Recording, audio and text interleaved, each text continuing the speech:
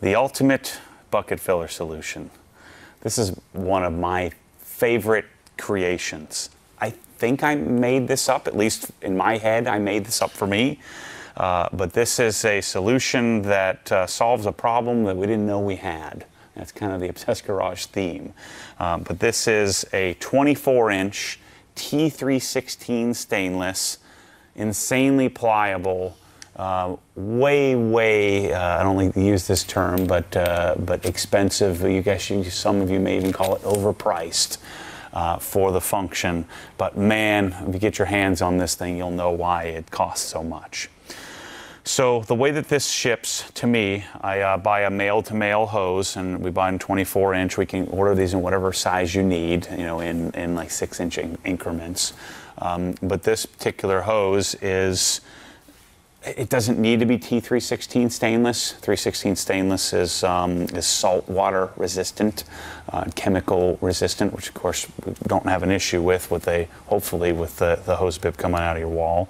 Uh, but it's the only hose that has this level of pliability to it, where it's extremely, extremely pliable and functional like no other piece of equipment like this. Certainly a rubber hose isn't going to be as pliable as this, will tend to kink.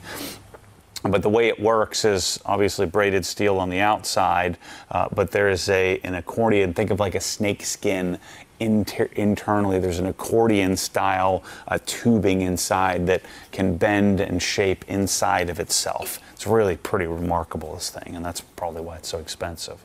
Now, because it ships male to male uh, and because it ships three quarter inch NPT, uh, we need to also source some some um, uh, additional pieces in order to make this work. Uh, and so this comes with I, I, I, ship this, we ship this assembled, taped, and torqued if you buy the package, uh, but it comes with a, a three quarter inch NPT female to three quarter inch garden hose thread or GHT male, and so that way we can put a coupler of our choice on it. I like the MTM couplers, even though they're kind of cheap Chinese. Uh, so the quality of these, this is 304 stainless. Same thing with this piece. Um, again, they don't make these in 316, and if they did, I don't find it would be necessary anyway. Uh, and then on the opposite end, uh, we need a, a, female to female in order to accept our, our plug, our, our stainless steel plug. So when we ship these out to you, this will all be taped and torqued you still may need to fight it a bit. Um, leaks or something that uh, it's hard to tell until you, you leak test it. So you may need to either loosen or tighten this down a bit. One thing to note is that anytime you have a garden hose type O-ring, you cannot torque the heck out of it. If you torque it too much, it'll leak even worse than if it's under torqued. Uh, you'll you'll crush the ring and it'll warp uh, and uh, and you'll end up leaking out, out the side.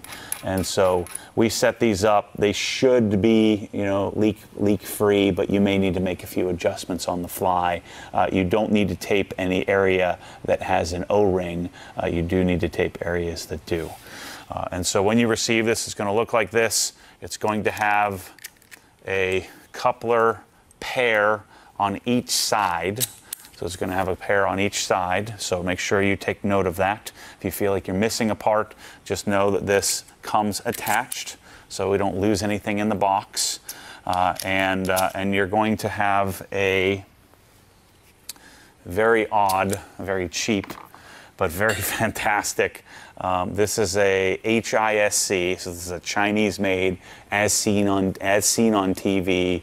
Um, this is a, uh, a very simple aluminum uh, garden hose or uh, yeah garden hose nozzle, which is actually pretty darn fantastic for as uh, these were sold on like Home Shopping Network and Q it was a QVC, uh, but we have them in stock and it's really the best option. Somebody, thanks to the the, the source uh, OG follower, turned me on to this. So functionally, it looks like so. Let's demo it for you, show you how it works. I have one set up over here on my on my uh, on my hose bib. So the way that I leave mine set up is like so. This is a, uh, a Prevost coupler. You could opt for one of these separately. You could buy this a la carte if you wanted to. Uh, this is a Prevost uh, coupler that seals uh, when you uh, make sure this is off. But when you when you pull, pop the coupler off, it has a different O-ring type.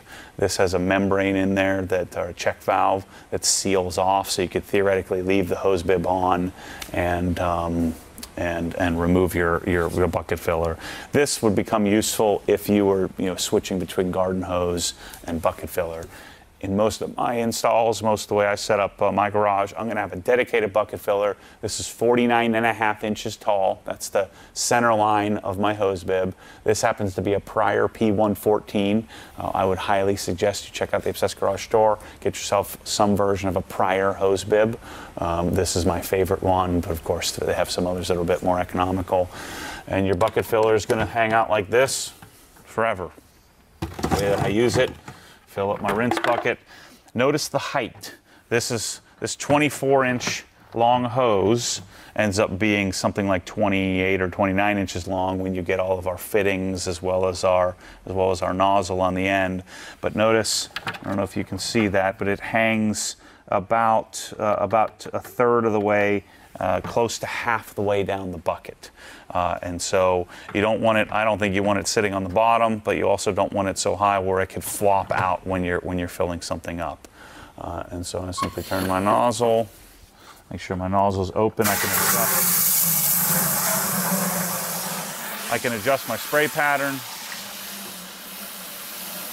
I don't think it gets any better than that. I lived without a bucket filler at my current house for a little while and I've been hating life. And so this is the ultimate version of the Obsessed Garage bucket filler, which I'm going to take credit for. I think is the one of the most awesome things on the planet. You need one of these. seems so simple, but when you, uh, if you if you never used one before, uh, you wouldn't know. But once you get one, you'll never be able to go back.